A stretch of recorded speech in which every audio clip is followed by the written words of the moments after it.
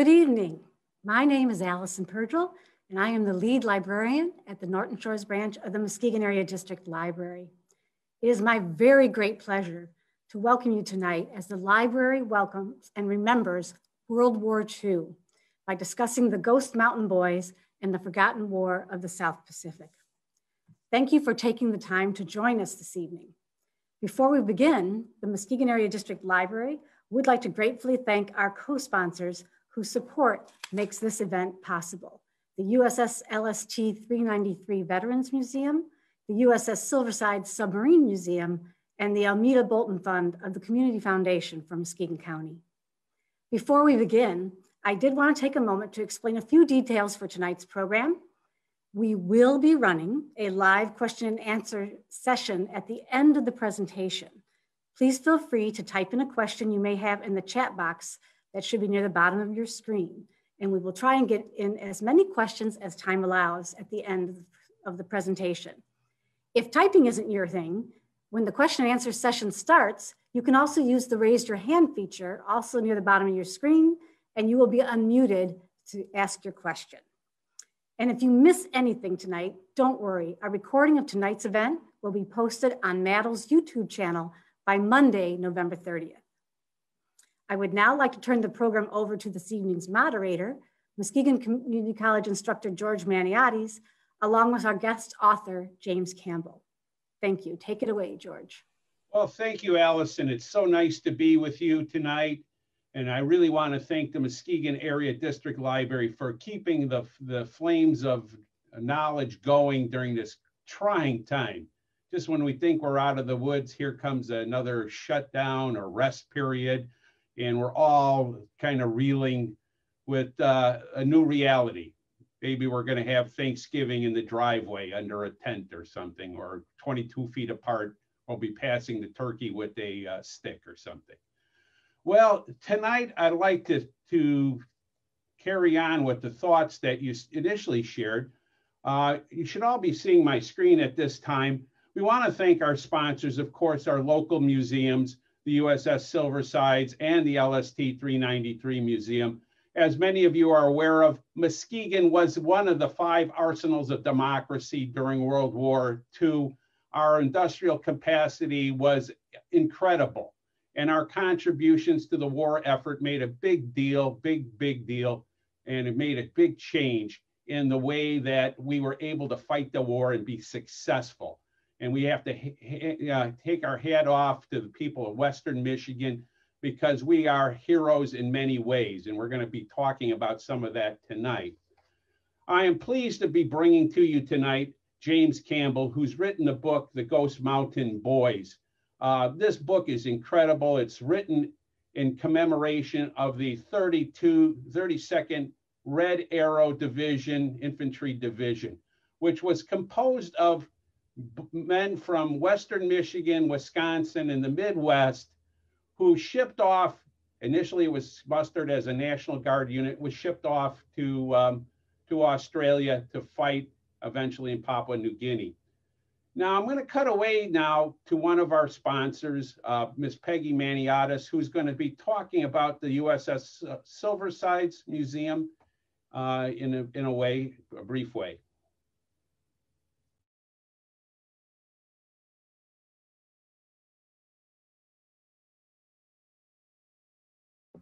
Thank you very much. Um, the USS, excuse me, the USS Silversides is very proud to sponsor tonight's program. The mission of the USS Silverside Submarine Museum is to honor the American veteran. And we do this every day through education and preservation. Everyone is very familiar with how we preserve our vessels and the artifacts of the museum, but we also offer 25 lectures a year on military history. It's so exciting to see this topic brought up again. We've hosted this wonderful speaker at the museum several times. And if any of you are interested in learning more about the lecture series that we have at the museum, please go to our website, www.silversidesmuseum.org, or to be put on the mailing list, please give the museum a call and we'll gladly put you on our mailing list. We have a new lecture series that'll be starting in third Monday in February. And it'll be the American military experience post Vietnam to the fall of the wall. And it should pose to be a very exciting time for us. And we'll have 10 lectures covering that modern American military history. And thank you to the Muskegon Area District Library and to all of the presenters this evening because it's absolutely wonderful when we can actually honor our veterans. Oftentimes it's so difficult to honor and understand someone that we have no idea what it is that they've done for us. And through these type of lectures, their service becomes knowledge to all of us and we can better appreciate everything they've done. So thank you everyone for coming out this evening and we hope to see more of you at different lectures throughout the year. Thank you. All righty. Thank you, Ms. Henley Maniates. Now, uh, I'm going to just talk very briefly. The LST 393 Museum is located at the Mart dock, which is right across from the brand new Civic Center that is being constructed downtown.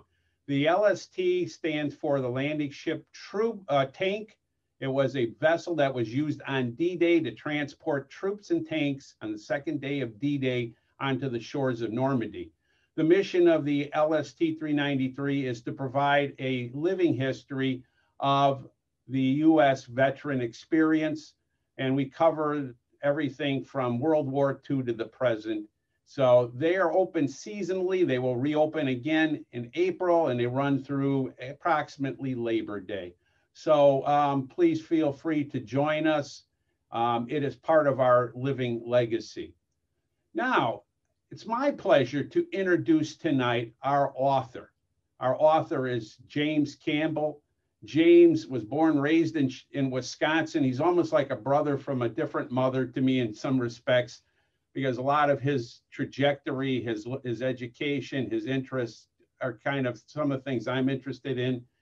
And he's a prolific writer. He's written a number of books, of course, The Ghost Mountain Boys being one of them, but he's also written a lot of books on the outdoors and the outdoor experience, The Final Frontiersman, which is uh, later on, it's going to be part, it was part of a reality TV show, The Last Alaskans.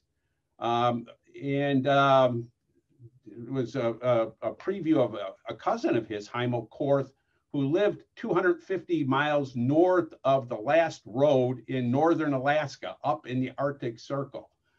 Um, he also wrote a book, The Color of War, which chronicled the experiences of African American troops in World War II that were loading ships, naval ships with munitions, and a tragedy that broke out there that really cost a number of lives, and the subsequent inquest that went on after those troops refused to load those dangerous ships, which brought uh, a, Thurgood Marshall into play. James has written also another book, which is kind of interesting, Braving It, and I'll have him talk about that uh, just in a second. But he's written for a number of magazines Outside Magazine, National Geographic Adventure, Men's Journal, uh, Audubon Magazine. If you're ever lost in the woods, you hope that you have James Campbell with you because he has the experience and the knowledge and definitely knows what he's doing. Welcome, James. Uh, thank you very much, George. I appreciate the very, very kind introduction particularly for my lost brother. Okay. And I'm and I'm George Maniates, and I'm a history instructor at Muskegon Community College. I run the Center for Experiential Learning. Some of you I may know, you might be some of my students. Some of you have met me in the community at some of our lectures. Uh, we've been doing this sort of activity for a long time, and I want to thank Allison for extending this to us tonight. So, James, it's been great. I'm going to, if you don't mind, James, can I just show a little bit of the background of this before we get started with our questions? Oh, I wish you would. That's okay. great. All right, so I'm going to show a little video here. It's going to be a little bit less than 10 minutes, but it's going to set the the um, set the scene for us tonight in terms of uh, our uh, historical background of this particular so thing. So let me share my screen again with you all, and we're going to take this away. Set the stage for tonight's program.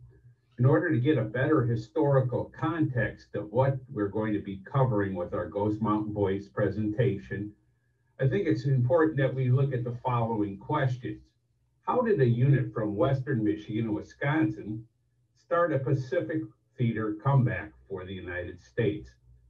What qualities did these young men uh, have that constituted the world's greatest generation? What was the condition of Australia in 1942? How difficult was a campaign in Papua New Guinea? And how ferocious was this enemy, the Japanese, in 1942? So, with these things in consideration, we have to understand the enemy, Japan. And Japan is more than just an enemy with a rising sun flag. It was a full fledged military power to be reckoned with. A power that had risen over a 70 year period from the Meiji Restoration, where Japan went from feudalism essentially into the modern world in a 70 year period to a point where it was uh, force invading China and committing all sorts of ferocious war atrocities. One of the things that we have to understand about this particular nation, the Japanese had transformed themselves with the aid of rapid industrialization and military modernization into a formidable force, both on the sea with a huge navy, which probably rivaled no one else in the, the Pacific, and also with a up and coming army, which had a high level of bravery and chivalry as part of their tradition. And uh, we have to understand this because in 1904 and 1905, they took on the largest competitor in Asia, the Russians, and defeated them both on the seas and by land to start their, their process of conquest in Asia. Nonetheless, after settling their war with Russia at the request of Theodore Roosevelt, who hosted the Portsmouth Peace Treaty talks in 1905, Japan was part of the World War I effort in the Pacific. And they had supported Great Britain by uh, accompanying British ships and protecting them, and also leading battles against the German possessions in China and they were highly successful at that. When they came to the the, the Paris peace talks, uh, which ultimately led to the Treaty of Versailles, in 1920, the Japanese were treated as second-class citizens. And you can see from the picture here, we have the Japanese delegation of diplomats that appeared at the Paris Peace Conference in 1919. And clearly the Western powers, namely the British, were very concerned by the rising Japanese fleet and the military prowess and might of Japan. So much so that by 1923, they had broke off alliances with Japan. And much of this was to do based on a racial component, of course, the Japanese being Asians and being tenacious fighters where it's really shaking up the whole world of social Darwinism, which had pretty much thought that white Anglo-Saxon Protestants were going to rule the world. Well, that was being tossed on its head in Asia with the rising of the, Ch- the Japanese. And Japan began to, to focus its efforts, particularly at this time, on things that were uh, of interest to them.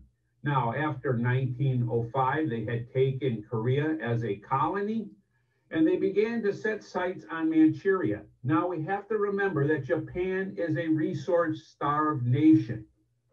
So in 1931, September 1931, they took over a great swath of Manchuria and set up a puppet government, puppet Chinese government, beholden to the Japanese called Manchukuo. Getting, of course, raw materials from Manchuria that would be essential for Japan's war effort in the future.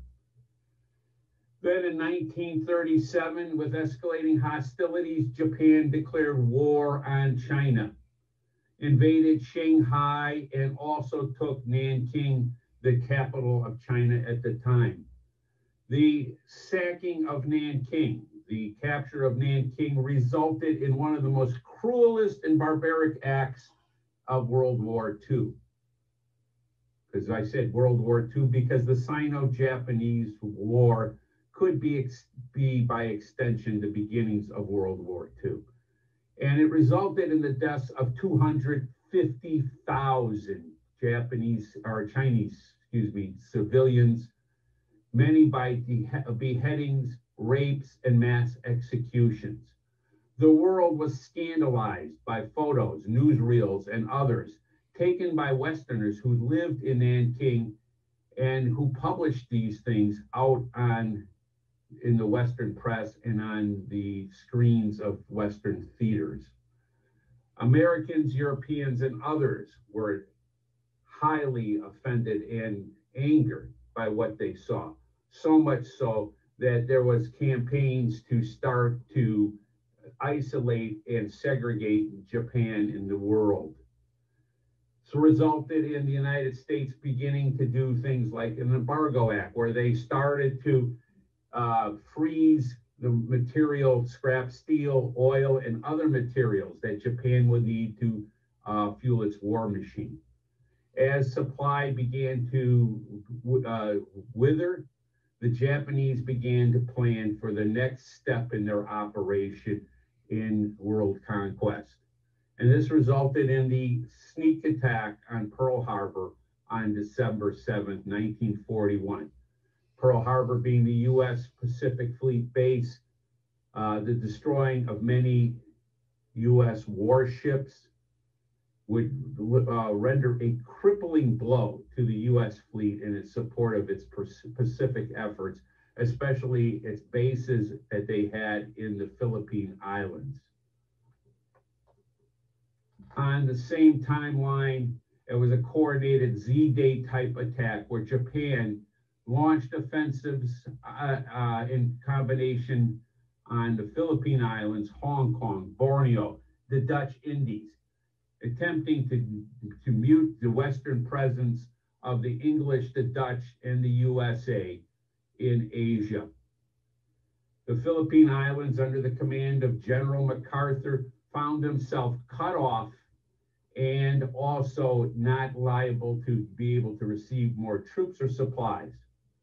And against this backdrop, by March of 1942, the word goes out from uh, Theodore Ro- uh, Franklin Roosevelt that General Douglas MacArthur, the leading U.S. general, is to be taken out of the Philippines and uh, sent to Australia. And it's this point we will start our story today um, about the Ghost Mountain Boys and what had what precipitated in this chapter of U.S. history. Because how did boys, men, the world's greatest generation of soldiers start this comeback for the United States? So this is where the world stood at the time of 1942. This is the extent that Japan had taken uh, territory it's looking very grim for Australia. And our story is going to focus on this island, Papua New Guinea, one of the uh, largest islands in the world. Uh, we're going to be able to see how U.S. troops conducted this unbelievable campaign uh, through some of the roughest territory known to man to dislodge the Japanese. So we'll take it from there. Okay, James. So let's take it from there. Okay, nice introduction. How did you become acquainted with this story? This isn't like something that's written in every military history book. oh, that's really long story. So I'll keep it as painlessly brief as I can. Um, in my brother and I grew up on National Geographic documentaries. And in 1989, he graduated from college, and I had a, a respectable job. And we'd always thought about doing, you know, taking a young man's adventure. And we decided, um, based on those National Geographic documentaries, that we were either going to build a raft and float down the Amazon, or we were going to go to deepest, darkest New Guinea. And we chose to go to New Guinea. And we were there for a bunch of months. We climbed all the highest mountains. We trekked through jungles. And it was just a, a wonderful young man's adventure. But prior to that, I'd never, ever heard about the, the war. I, I knew about the war in the Southwest Pacific, but I knew nothing about the battle for New Guinea. And um, I met a, I met some missionaries there and some anthropologists and some historians who told me about this battle. And then I came and they said, by the way, they were probably fought by men from your, you know, your state, your or at least your region. And I came home and it turns out that um, a, a, a man that I knew who lived three three doors down from us had fought in New Guinea and had never uttered a word about it. And um, and he had been a friend of the family for years. So I felt I felt I guess a responsibility and, a, and maybe a, a, certain level of shame for not having known about um, not having known about the battle in New Guinea and the, not having known about the battle that the men I'd watched in parades and the men I'd grown up around had fought. So I started just very casually doing research about about the battle or about the very variety of battles on the island of New Guinea. And then in 1995, I did um, the most improbable thing of all from the certainly from the perspective of the of the veterans who had fought there. Um, my wife and I, my wife and I got married, and I wanted her to see New Guinea. So we traveled. We did some some easy traveling in New Zealand and Australia, and then we went to New Guinea, and we spent six weeks in New Guinea. And my wife got malaria, and she suffered mightily. And I eventually got her out to a little island off the north coast of New Guinea called Ternate.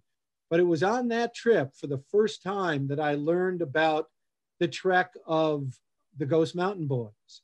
And at that point, I was riveted. Um, I was writing for a variety of magazines, and I'd hoped to be an author one day, an author of a book.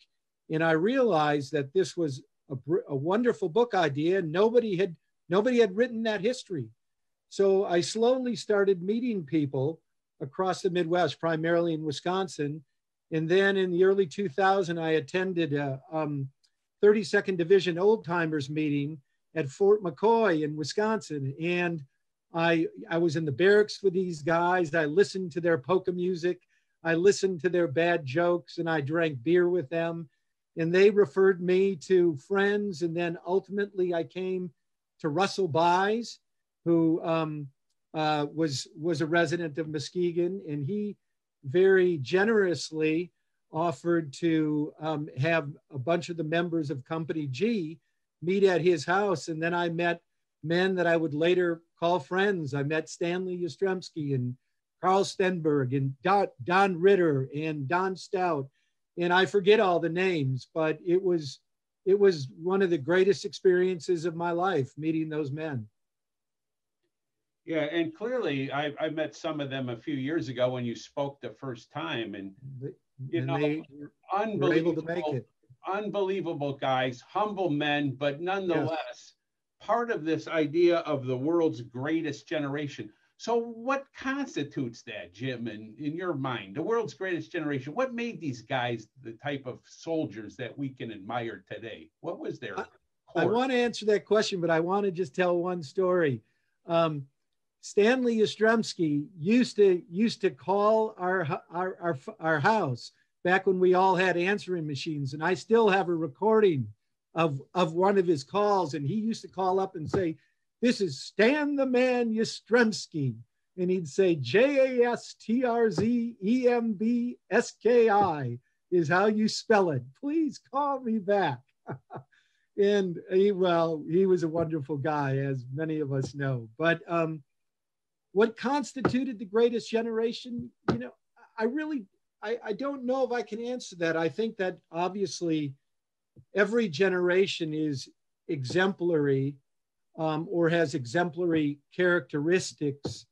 Um, but I think that the, the greatest generation was different in that they they were products of the depression so they knew what hardship was they knew what deprivation was they knew what living without meant and i think that um, so they I, I, think were um, in some ways in some ways prepared for for for war or for um, the, the deprivations of war. But I think that the National Guard system also, because particularly in the Midwest, a lot of these men came from small towns. They'd grown up together, they'd gone to school together. Then they went into the National Guard together. And the, the intensity of those friendships, I don't think can be, um, I, I don't think it can be overestimated. I think that they, it was it was more than patriotism because I don't think an 18 year old young man or boy even you know thinks about the nation but what he does think about is he thinks about his his friends or his brothers by that you know by that time. And i think that loyalty to um, their fellow their fellow guardsmen um, uh, you know prepared them to to fight and and to die. You know they were they were going to fight and die for uh, for the for the you know the people that they called friends and brothers so and i think that was particularly let, let, down their buddies obviously. That's they, right. Well and, and i think that, their comrades their their best yeah, yeah and it was they didn't want to let them down but i think there was a real kind of love. I think there was a real bond between between those men that um that uh, you know we we don't really maybe we don't really recognize or have today. Yeah, and a lot of them came from a pretty hard scrambled background. You say Stan Jastrzembski, but a lot of these guys are living, you know, what we would call in poverty, correct? By today's oh, standards. Oh yeah, you know, some of them didn't, you know, some of them didn't know where the next meal would come from, and or you know, they they grew gardens. You know, they they hunted because they had to hunt. They fished because they had to fish. And, and they were no strangers to hard work, obviously. Um, and, and, and in that way, I think they were a very, um, a very kind of different and uh, a very different generation. Yeah, very resourceful. Yeah. So these guys got together. They were most of them were in the National Guard together here locally in, you know, the armories in, the, in Western Michigan, etc. But um, from that experience, how did they get whipped into this fighting force? You know, National Guard, and I'm not trying to poke fun at the Guard, and I'm not mm-hmm. trying to demean anybody's service because I honor people, you know, that have served. I think that's quite the the sacrifice. But you know, that's not the special forces, is it? No, no, and well, they, they they weren't um, a trained fighting force. Um, you know, they were sent down to Louisiana um, to initially a place called Camp Beauregard, where which they called Camp Disregard, and they trained with broom handles for rifles, and they did a lot of marching and they did a lot of yelling. And uh, then they tra- transferred to Camp Livingston, which wasn't much much better. And then in the late summer of 1941, they participated in something called the Louisiana Maneuvers, which was the largest peacetime war games in US history. 400,000 men participated in it in Louisiana and in East Texas. Although what they what they learned was modern mechanized mobile warfare. They did not learn jungle fighting skills or jungle tactics. In fact, one of my characters, Major Herbert Stuttering Smith, who was one of the men who, who, who crossed the, the Owen Stanley Mountains, said in one of his diaries, he said, the swamps of Louisiana were so available if only we had trained in them and if only we had known. So, what he was referring to is, of course, if only they had known that they were going to be sent to New Guinea. But of course, they weren't. We had a Germany first policy, and initially they were going to be sent to Germany. Then, after they, they eventually were sent to Fort Devens, Massachusetts, and they were pre pre preparing to go to Europe, their engineering unit was sent over, and then they were sent to California, eventually put on ships and sent to Adelaide, Australia, where they were supposed to begin their kind of jumble, jungle combat um, training. But Adelaide, Australia, if, I don't know if you've ever been there. No, but, I haven't, but I can only imagine it wasn't yeah, Papua New Guinea. It's a cold place. So, so they weren't training for the jungle there. And then they eventually they made it to Brisbane, where the climate is a bit more similar. But they went to a place called Camp Tamborine, where they um, they were supposed to begin their jungle training and they were literally cutting down trees and digging latrines. So all they'd really done was a whole lot of marching. And then eventually in September, when some of the units were called up and sent to New Guinea, um, they, they were completely and thoroughly untrained and unprepared for this experience. And they were called the, uh, the guinea pigs of the South Pacific with very, very good reason. They were sent to one of the most malarial places on earth it, with a shortage of chloroquine. They had no idea um, about the topography. Uh, in New Guinea, we, we often think of Louisiana or maybe Seattle as rainy cities, and I think they get 70 inches of rain a year. In New Guinea, they get 200 inches of rain a year. So mm-hmm. they, they were completely unprepared for this experience um, and and they suffered and they suffered terribly. Yeah, I can only imagine um, being set into a place where you're underprepared um, and told to march across a mountain range from from jungle to the a 10,000 foot mountain range.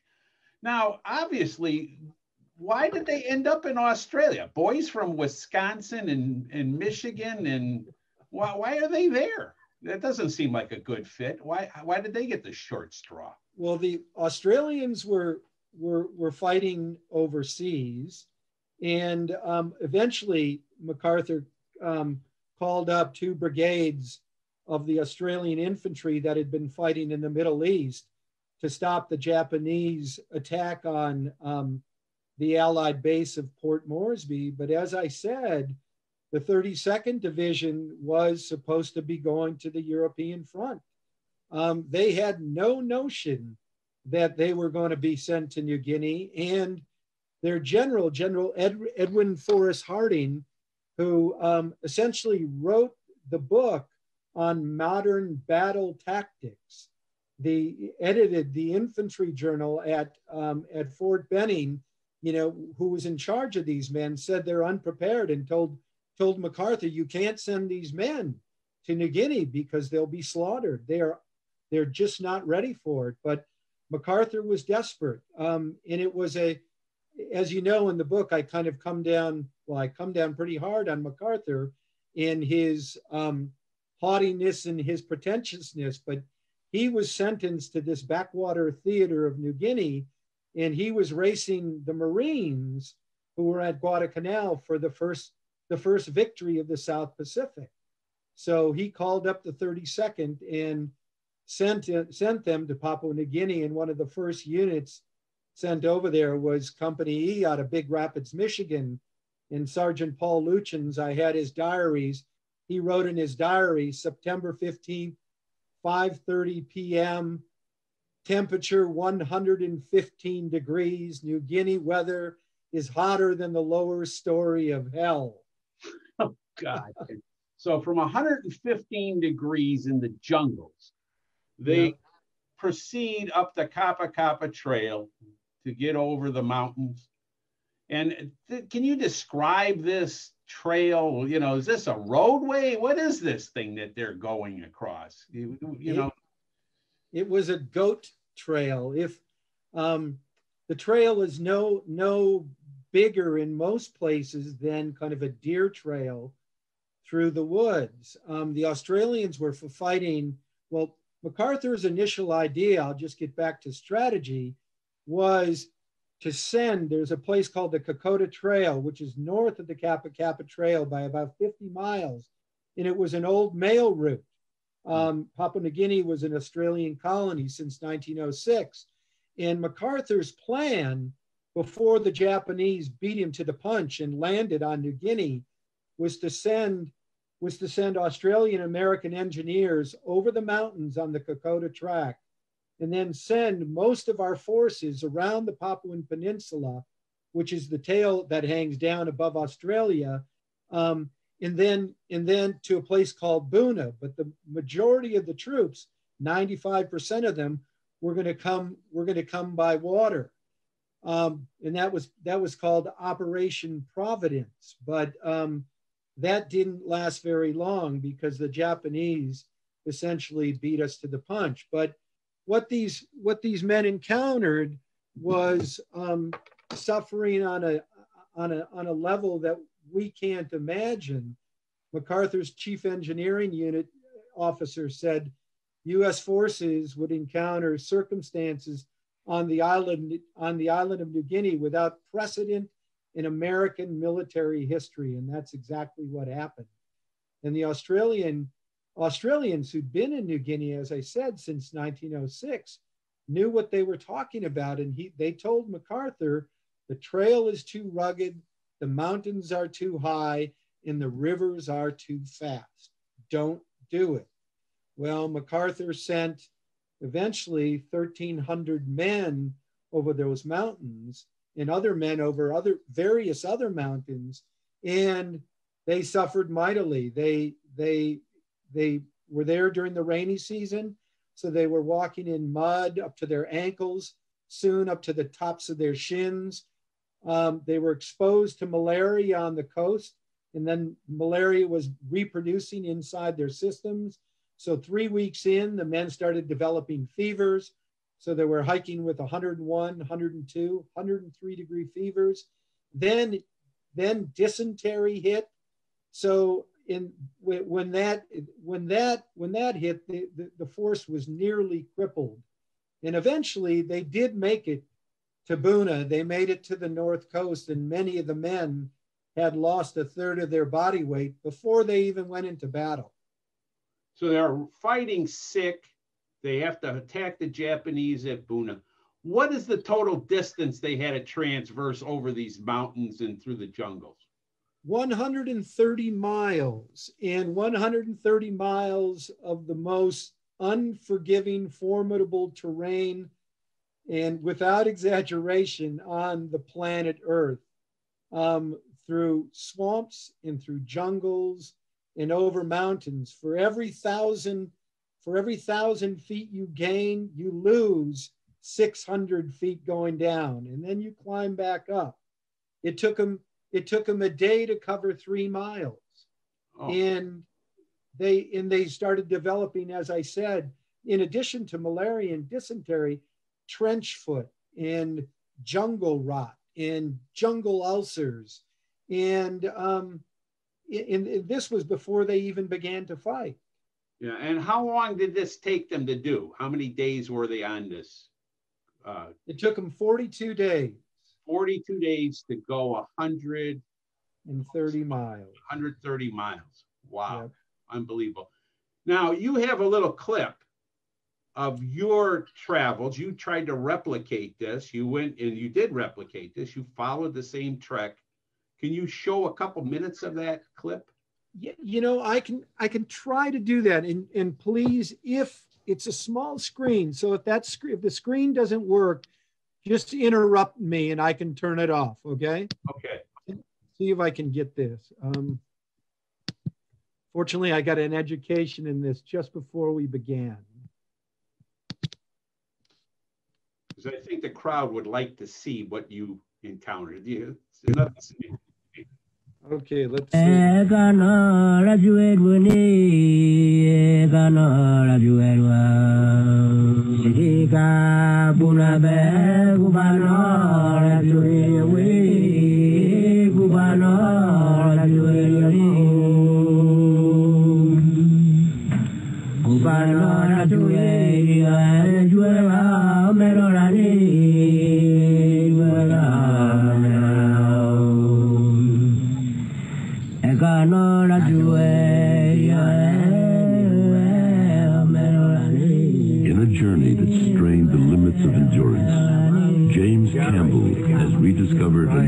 forgotten chapter of World War II bravery and suffering.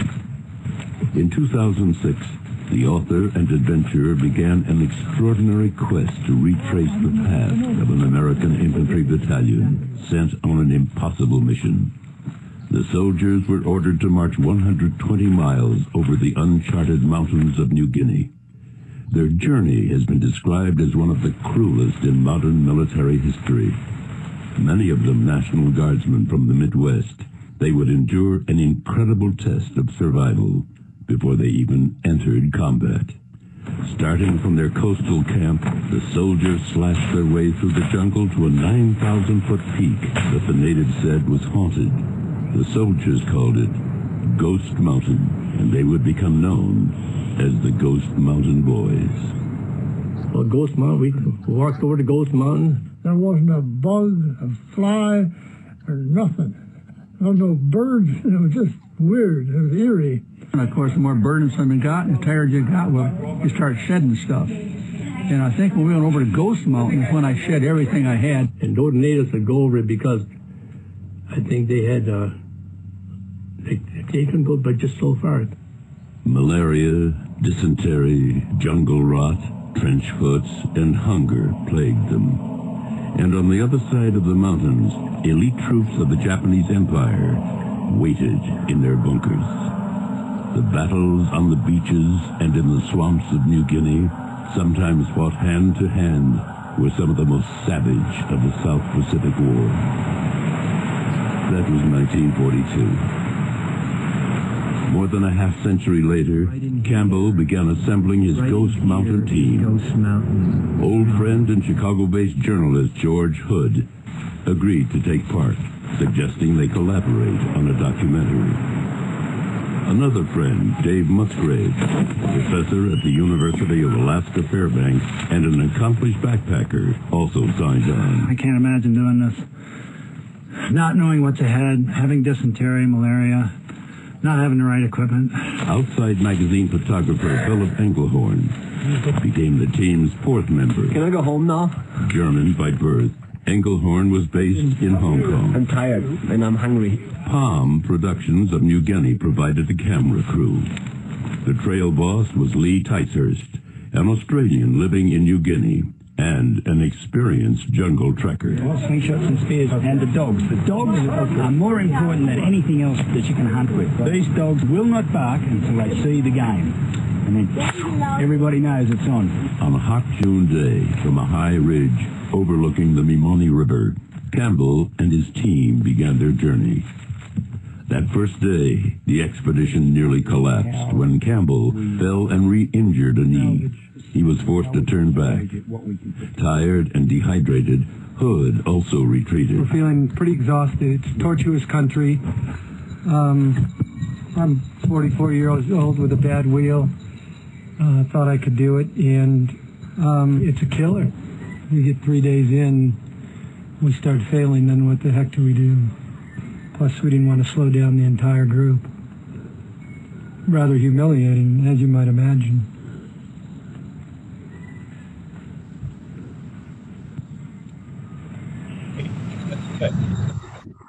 The rest of the team went on.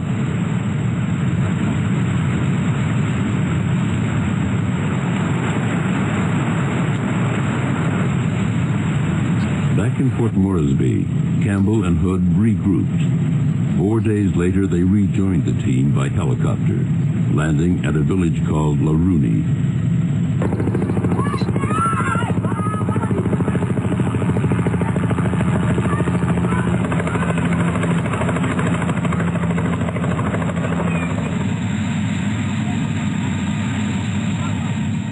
The team did not travel alone.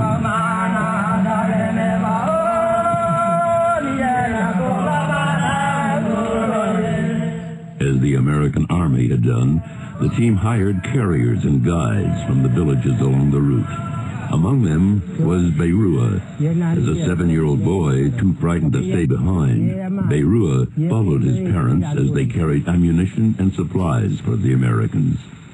Now more than 70, he and his wife Bima would help guide Campbell and his team over Ghost Mountain. Barua warned Campbell the mountain was haunted by Masalai, evil spirits and demons.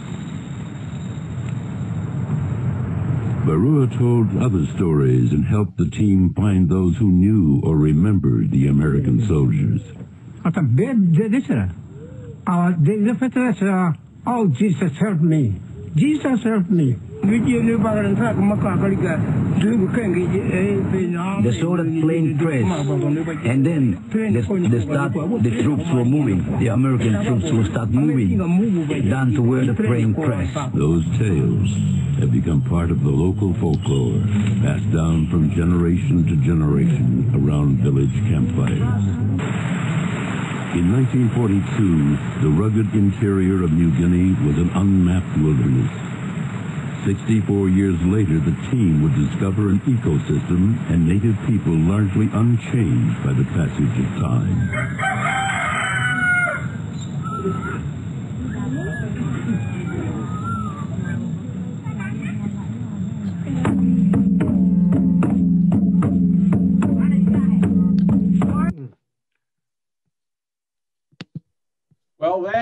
I think shows it all.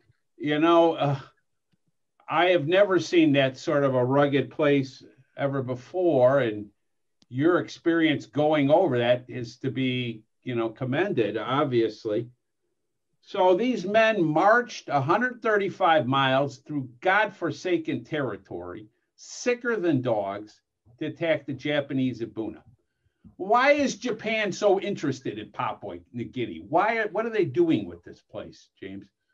Well, from Papua New Guinea, the, the well, first of all, they owned, they, they occupied with a greater co-prosperity sphere one sixth, as you showed initially for, in your map, one sixth of the Earth's surface.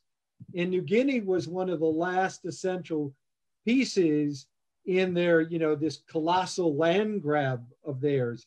And from New Guinea, they hope to use New Guinea to interrupt our 8,000 mile supply line. Had they been able to get New Guinea, had they been able to get Guadalcanal in the Solomons, um, there's nothing we could have done in the Southwest Pacific. The war, the war would have been over. Yeah, so New Guinea was an essential piece of property. So the 32nd, not only do they have to win this battle because it is critical that they maintain Papua New Guinea so we can keep the supply lines open, to keep right. submarine bases in in Australia, which is our our essentially our naval force at that time, because we cannot bring in destroyers and you know large battleships. We only have four aircraft carriers that are left, so we're, we're in tough shape. So we yeah. got to keep this at all costs. And of course, Australians were terrified. They J- Japan had already bombed you know, much of Australia and had sent submarines as far south as as Sydney. So the Australians were were terrified. But yeah, MacArthur obviously left the Philippines in ignominy, but um, and was unhappy about essentially being sentenced to New Guinea. But um, there was no more important or important or pivotal um, you know, piece of land in the entire world at that point. Now, clearly, men of the World War II generation usually don't open up and tell their stories. I had an uncle. I rarely knew anything about his exploits. The only time I ever heard was when he was with another relative of mine who served in the same theater of operation, and they were at my father's funeral dinner and they started talking amongst each other. They had never yeah. met each other before. And then the story started coming out of their service. And, uh, you know, it was funny. I didn't know that this one uncle was a Bronze Star winner until his funeral, where his decorations were displayed. He never Yeah. talked about this. So, how did Yeah. you get these guys to open up? Well, I, I think, you know, um, James Bradley said in his book, Flags of Our Fathers, he said, they came home and they got on with living. And I think that's that's absolutely true. So many of them, so many of them, I think, um, were so happy to leave that war behind you know they they buried their memories. And i think only later in life did many of them feel that it was time to time to tell their story. And um, i just happened to be you know in in maybe the right place at the right time. But i did you know i did i researched this for you know for five years researched and wrote it for five years. So i I, I did develop, you know, lots of lots of very close friendships, and I spent as much time with the men as I could, and I traveled all over the United States. As I said, I was at Fort McCoy with the guys, you know, listening to their stories, and um, I did occasionally have the wife of a serviceman call me up and say, you know, I'd like you to stop talking with so and so about the war. He's having nightmares. You know he can't he can't sleep at night. And i said that's the last thing in the world i want to do is you know is bring back that trauma for them. And then they would call me up and that that you know the that world war ii veteran and say no i need to talk about this is you know in many ways in, in many ways, it's the first time I've ever talked about this in my life, and I need to talk about it. And that's Um, their way to decompress, to, to get rid of this post-traumatic stress disorder, which we we talk about today, or at least acknowledge. That wasn't an option for World War II people, you know. No, that no, that wasn't, and I think particularly for the men who fought in New Guinea because it was so underpublicized. You know, the Marines um, got a lot of the credit, which they deserved, but um, the 32nd Red Arrow men in in in New Guinea, who fought so ferociously, um, eh, were, were were largely largely unrecognized by by the nation. And I think many of these men later in life wanted to tell, realize that, you know, their days were numbered and wanted to tell this story. Um, and, you know, thank heavens for me that, that they were, you know, gracious and generous enough, you know, to tell me their stories.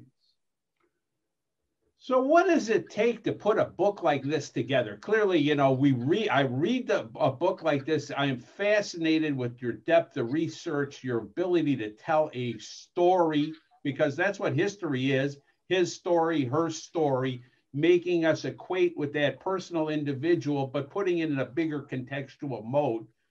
What does it take to do this? You know, this is obviously an art form. Not any of us, you know, many of us can't even spin a sentence, let alone anything else. Oh, there were many times I got, I was in the midst of that book, George, and thought, I am never, ever, ever going to finish this book. Um, you know, it's just like any other job. You just, you know, inspiration rarely comes. You just have to be workmanlike about it. And you have to, you know, sit down every day and you have to construct a ten- sentence or a paragraph or or pages. But um, I was lucky in that um, a lot of the men I spot I spoke with were also very natural storytellers. Um, and in New Guinea, I also had, um, y- you know, this this this almost otherworldly place. You know, a place of um, of as I said, formidable topography, dramatic topography that um, that that I wanted to write about, and also I wanted to write about the people and their culture. And by the way, I should say that without the the help of the Papua New Guineans, um, who who served as litter bearers, stretcher bearers, as scouts, as carriers, we might not have won that war. Um, and they, most of them sided with us instead of the Japanese, but um, they were essential to that victory. And neither um, the US nor Australia has ever formally thanked the Papua New Guineans for their contribution. Um, but the, the book, and as I said, you know, I'm kind of a boots on the ground author. You saw that. So I tore my knee. I tore I tore my the ACL in my knee um, a month and a half before the trek, and um, I should not have should not have been doing it. But I realized that I had one opportunity and only one opportunity. So I was there with a torn ACL, you know, trying to carry a pack. And, you know, I fell the first day and then came back four days later, but, um, and was able to, to complete the trek by, I don't know, maybe the grace of God. But um, that was very, very important. I figure if I, I figured that if I was going to be writing about these men who suffered so terribly, I had to at least experience some something of what they experienced. Obviously, I couldn't experience battle, but um, I did get malaria after I got home. Uh, fortunately, I didn't get it on the trail. Uh, but after you know 27 days of hiking, you know we got to sleep under clean sheets and celebrate with beer. And the men that I wrote about went into battle. So um, thing I always say is that I'm in no way comparing what I did or what we did with what those men did. And how intense was that fighting once they got over that mountain and they encountered the Japanese? Because this wasn't uh, just any pushover group of Japanese soldiers, was it? Was some of the most brutal fighting of the entire World War II experience. They were elitely trained Japanese Imperial Army forces. And when I mean elitely trained, military historians who've written about the Japanese training said they trained in tropical dystopias. So they were prepared for the terrain. They were prepared for, for exhaustion. They were pre- prepared for the lack of food. Um, and then what they had, because they beat us to the punch, because they landed on New Guinea before we did, there was an 11 mile front on the north coast of the Papuan Peninsula. And on that 11 mile, 11 mile front, the Japanese were able to build hundreds and hundreds of interconnected and reinforced bunkers. And we had nothing to take them out. We had no 105 millimeter howitzers, we had no tanks, we had no flamethrowers, we had no destroyers off the coast shelling their positions. So we had to resort to what they called Civil War tactics, it, um, which essentially meant rushing those bunkers and tossing a grenade in and, you know, hoping for the best. So we lost lots and lots of men. In what fact, there were more casual, casualties per percent in ter, percent of casualties per troops committed on an island in New Guinea, I think, than any other battle of the South Southwest Pacific. So the losses there were much greater than almost any other battle theater. Huge losses, 70%, 75%.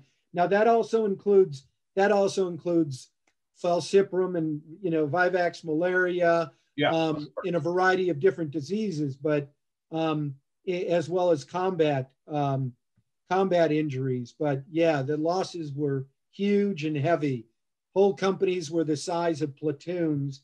In the 126th Infantry Regiment, the Ghost Mountain Boys essentially ceased to exist um, after that battle.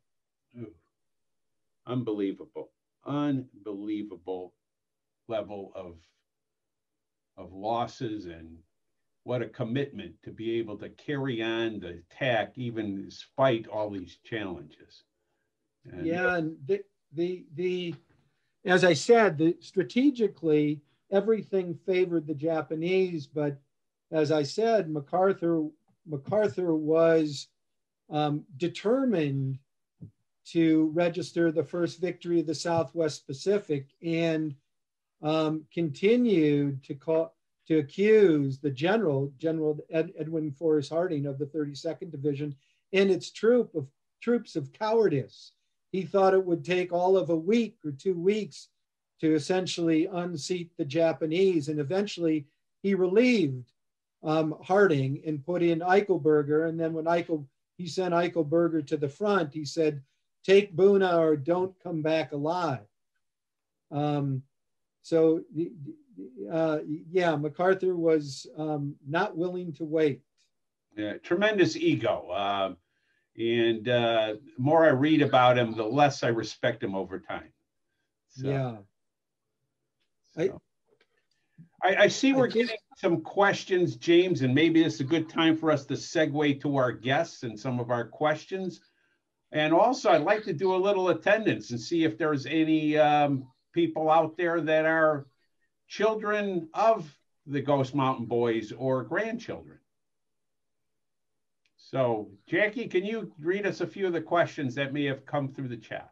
Actually, I can, I can do that for you, George. Yeah, um, it looks like we have a question here from one of our attendees. How were these poorly trained, poorly equipped Midwesterners able to overcome these highly trained, dug-in Japanese regulars? Uh, with with raw courage and um, perseverance, heavy casualties, and eventually, eventually, um, they were able to, naval forces were able to deliver tanks and flamethrowers and 105 millimeter howitzers. Without those deliveries, um, I don't know what would have happened. But um, it was as I said, MacArthur thought we'd be there for two weeks, and we were there for two and a half months, attacking this, what amounts to pretty um, narrow, confined position. I actually have a, a, question for you too, James, if that's okay. I, yeah. I wanted to say I thoroughly enjoyed the book. I mean, I read like a novel. It was just amazing. And one of the features I really appreciated was getting that Japanese point of view in a way where we got yeah. uh, some of the experiences that they were having at the exact same time. Can you talk a little bit about why you opted to choose that format or include that point of view? Yeah, I figured it was, I, I wanted to try to penetrate the Japanese psyche because I'd heard about their fighting spirit. I heard, of course, about the the Banzai charges. And I think that initially you saw that they were filled with, with pride and um, certainty um, of, of their victory. And then you see that slowly deteriorate. And by the end of the battle, as much as we were suffering, they might have been suffering even more. They were, they were absolutely close to starvation they were suffering from all the diseases that the Red Arrow men had. And um, what, what, what MacArthur eventually realizes he was he needed to cut off their supplies. So he bombed Rabaul, which was the South, which was the, their base in the South Pacific, in where they sent all the supplies from. But I thought it was really, really important to get into the Japanese mind. As I said, and fortunately, the National Archives had a lot of the journals of just ordinary fighting men, which I was able to discover and realize that I really, um, I couldn't, I couldn't, um, I, I couldn't not do that. I thought it was a great move. I really yeah, enjoyed that. We have another um, question from uh, Kurt this evening. Mr. Campbell, to the young students watching tonight, please say a few words as to why historical events of 75 to 80 years ago are important today. Yeah, well, as they say, we have to understand history. So at least the, well, good history and bad history, but particularly the horrible aspects of history. So, so, so we don't repeat it. But I think that it's important to know, um, you know, this what these men did for our country. I think it's we always hear about the greatest generation, but we have to put we have to be able to put um, a face to this generation or faces to this generation. We have to understand that in many cases, these men were just like us. You know, they had hopes and dreams. They didn't want to be fighting in New Guinea. You know, they wanted to they wanted to be there in Muskegon, living a happy, you know, happy life with children, etc. But um, they they they participated and devoted themselves to a cause greater than themselves. And I think that um, I think that uh, we all owe obviously them a debt of gratitude, but we also we all have I think responsibility to our our fellow citizens, our our in in our in our in our country at large. Interesting. Uh, another comment from Janice. First, she'd like to thank uh, both James and George for this program, enlightening and so interesting. And she adds that she's not a relative, but her dad's best friend was Art Edson, ah, who was a Ghost yeah. Mountain boy. Just wondering if there was any news of him. Such a humble man. Yeah, he was a humble man. I had, I, I knew Art and met with him a couple times and had his diary and um, he passed away. Oh, um, uh, let's see. Uh, you know, I don't, I don't know. I actually, I didn't know. I knew his. I'm sorry. I knew his son. Um, I don't know when, um, when he passed away, but he was a, he was a, a big part of my book. Want to remind our participants, if there's any more questions, be sure to add them to your, oh, I have someone raising their hand. Uh, Mark, I'm going to let you go ahead and talk. Ah.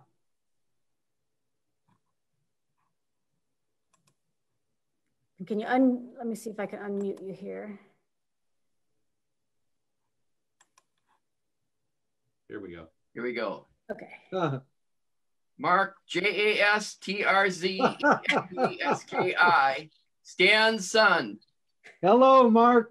How are you? I, I am just you'd fine, sir. and, uh, you know, on behalf of my dad, uh, there's nothing I can add to what you've already said today. You and George did a great job.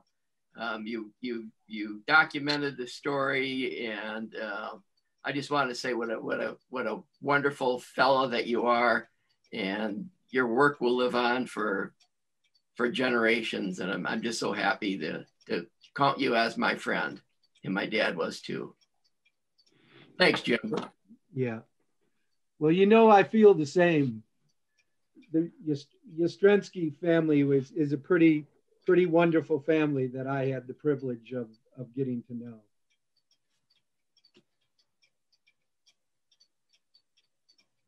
Great. I was going to uh, ask you, James, when you were talking a little bit about how you got, obviously you met a lot of the men and you had access to diaries and things.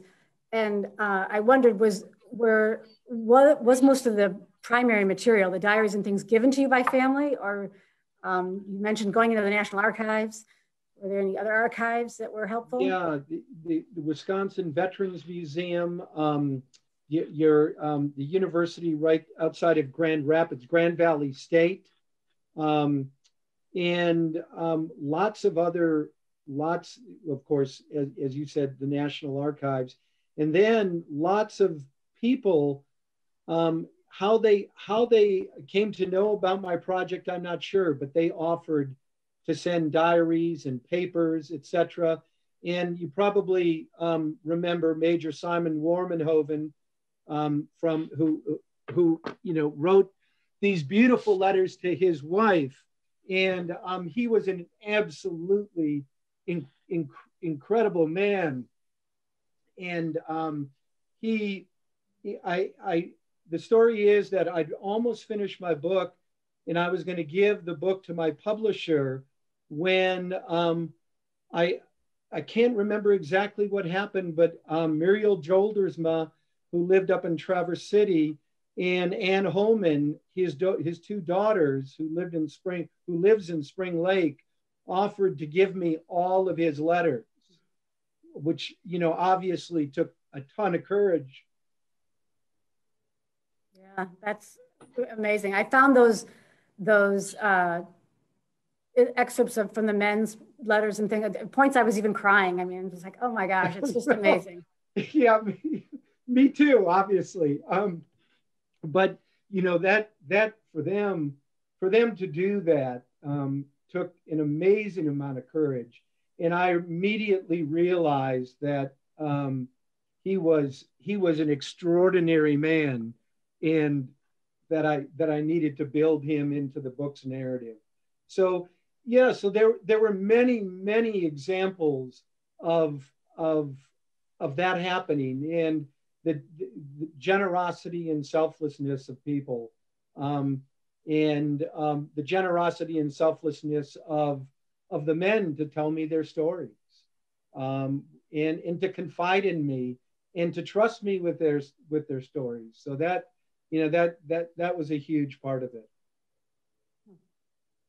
Just fascinating once again, attendees, if there's any more questions, be sure to use your raise your hand option or type it into the chat box. I thought it was interesting when you talked about, you know, MacArthur's uh, competitivism to uh, be the first one to get a battle in. I mean, was that sort of a, it seems such an odd concept to have in, in, in a war. Yeah, particularly when you're, when you're general in charge of the division says that these men aren't prepared and you send them into battle. And then after evaluating the front, um, when he when he tells you that um, this victory is what they call the Leavenworth nightmare, um, the command and general um, staff college in Leavenworth had never seen a situation like this.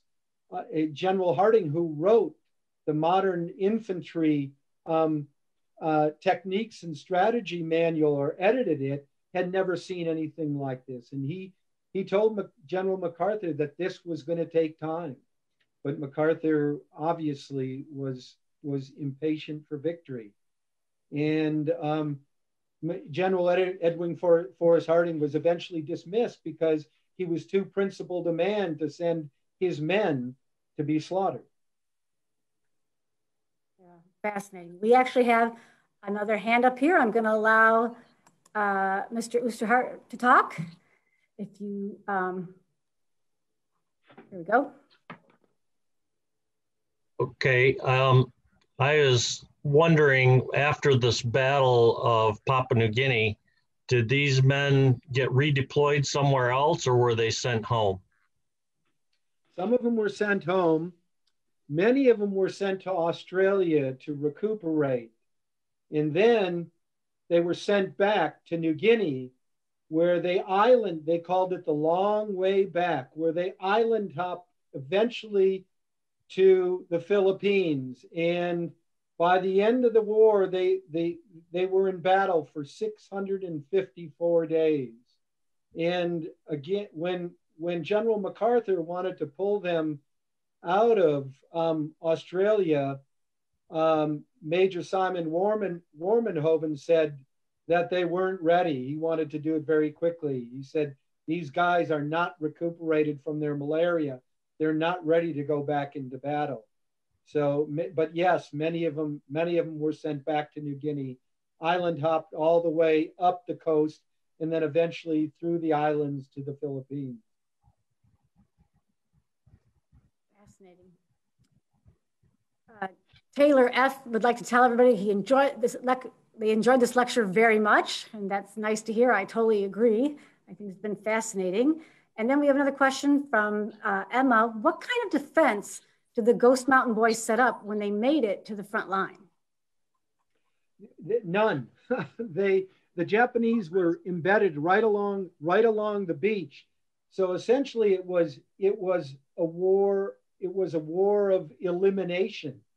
Um, there, there was there was no defense. They they killed as many Japanese as they could, and they were defending no position. They ultimately they ultimately seized Buna and two of the villages north of Buna, but um, at that point there were no more Japanese to fight,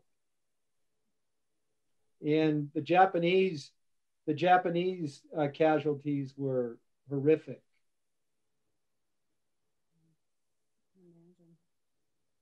I thought it was interesting in the book when you uh, talked about how, a how young some of the men were, basically boys who got in because when they in, into the National Guard, because people looked the other way.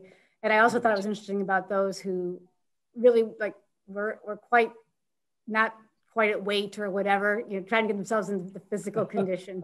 Because my father was in World War was a was a World War II veteran, was a World War II veteran, but he was six foot two and weighed 118. They never sent him over because yeah, uh, right, right. Too, too thin, but he got in charge of a POW camp here. But well, and when you look at uniforms from that period of time, you often look at the pant sizes. They wouldn't fit around a guy's leg today. Not two. You know, size 28, 30 waists. People don't wear those anymore. Yeah, well, J- Jim Boyce, who who did the reconnoiter trip on the Ghost Mountain Trail out of Swayzee, Indiana, was a tiny man and never thought that he would make it into the service because he was so small. Yep, it, it's, it's kind of interesting. Uh, we do have a question here from Alex. Mr. Campbell, are you familiar at all with the unique tribal pop art that the American troops inadvertently inspired among the native, native Papua New Guinean tribes? Well, I'm sitting here in my office. I'm surrounded by New Guinea art and um, and red arrow photos of the men in red arrow hats. But I'm I, am i am not, and that's fascinating. But I am familiar with one thing. One thing you can still experience in New Guinea um, is the, the, the, war is ever present. Um, because they're a storytelling culture and because for the most part they don't have TV and they have no other sources of entertainment, they, they, they still tell war stories today. And little kids, little kids will tell you the story, stories that they've heard from their grandfathers of these men marching through their villages. And it's really an extraordinary thing to see that that still live and, and still be um, a, a, a, a, substantial part of their identity. And um, so, so I'm aware of that, but no, I'm not aware of the, the tribal. Oh, I am aware. I think what you're referring to maybe is um, something called cargo cults. It just struck me. So the cargo cults that spread out that that spread all over New Guinea after World War II is that they they they saw all of a sudden these virtually Stone Age people saw the modern world and they couldn't believe it. So they thought these planes were delivering gods from the sky, and they saw they saw um, things hooked up to generators. So what they did is they would take these bush vines and they would construct something, say, that, that looked like a, a refrigerator and they would expect it to cool their food. But they, they, were, they were unable to make these huge leaps because, of course, nothing in their imaginations or nothing in their experience had ever prepared them for this, you know, for the assault of the modern world. And it was, you can imagine, it was mind boggling for them. But cargo cults continued to spread, well, not today, but for decades after, sprang up all over the island. Uh, looks like we have uh, two questions from Kevin. I'll give them to you one at a time. The first one is, what was the size of the Japanese force? Enormous. Um, uh, 18,000 men. 18,000 men on the uh, committed to the battle well, eventually, the, the, the sea, the um, attack on Port Moresby, they eventually retreated, and then the defense of, of the of the Papuan Peninsula, 18,000 troops. And Kevin's second question is, how long did it take before reinforcements arrived? For the U.S. for the U.S. troops, um, I'm assuming. I'm assuming. Yeah. Um, let's see. Um, the 41st Division was brought in, I think, in December and 163rd in January. So the men had been fighting for the 32nd Division, um, had been fighting, and they didn't have the whole division there initially, but they'd been fighting for a month and a half with the Australians to the north before reinforcements arrived. And we have a question from Avery now. These men were immersed in the wilderness and were fighting for survival for a long period of time. How did that impact their life and view of the modern world? Oh man. Um, the men who made many of the men who made it back um, well first of all when they when i told them that i went to new guinea for fun or for an adventure a young man's adventure they thought i was stark raving mad and understandably. But um, many of the men never wanted to sleep outside again. They never wanted to camp. They never wanted to pick up a rifle. Um, i think it had a pretty profound effect on on how some of them conducted their lives. Um, yeah, it's hard. It's hard. It's hard to forget those things. And many of them had malaria attacks long after they came home. Hmm. So is, is malaria, and I apologize for my ignorance, is, is malaria still uncurable today? Well, um, that's a good question. Yeah, there's still lots of Papua New Guineans who are dying from malaria. Um, and so what, what it does is, is it embeds itself in the liver. And if you don't kill um, that, um, forget what it is, that embeds itself in the liver, malaria will continue to recur. And that's what happened to a lot of the men. They were getting malaria, malarial attacks 20 years after they'd after they'd left New Guinea. But it is absolutely a killer. Um, um, uh, my wife, when she had malaria, I when I had malaria, I didn't have it as bad as she did, but she had a 104.5 degree fever for over two weeks, mm. and we we were you know pretty much on an isolated island um, with only one doctor on the island. Uh, here's a Great comment. My name is Mark Holman, and I am Major Warman Helvin's grandson. and thanks for putting this together tonight. Yeah, that's wonderful. Thank you for coming. It's good to hear. It Looks like we might have a couple. Uh, here's one from uh, Kevin. Thanks you for the answer to his two-part question. And then uh, Janice says, how many ghost boys were there? And how many of them lost their lives in uh, New Guinea? Well, there were about let's see. Um, well, I would say there are about 1,100 of them. And um, I don't know what the, how many of them died on the island, but I do know, as I mentioned before, that the particularly the second battalion of the 126th Infantry Regiment um, by the end of the battle for Buna, um, ceased to exist. I mean, the, many of the men died. Many of the men were so sick that they were eventually sent back to the United States. But um, out of the 10,000 men committed to the island of New Guinea, I think casualty rates were pushing nearly 80%. And again, that does that that does include you know tropical diseases. Wow. And and you said with, were the Japanese experiencing sort of the same rates or even worse or? Yeah, um, 13,500 Japanese lost their lives, mm. or 14,000 um, in the Battle of Buna, and then some some escaped, you know, by by ship, okay. or fled into the jungles and were discovered, you know, 20 years later, still thinking that the war was going on. Hmm. Wow. So Mr. Uh, Oosterhart has another question for us. Uh, were the Japanese forces facing the sea? And if so, did that aid in the Americans' victory as they were coming from inland? No, no, they were facing inland. Their backs were to the sea and they they had occupied all the high ground uh, on the coast, and we were we were um, which left only the swamps for the men who were trying to unseat the Japanese. So um, it was a pretty miserable situation. Uh, but no, their backs were to the sea, and obviously, had we had destroyers off the coast, shelling their positions, it would have been a very different battle. Um, but we didn't have that.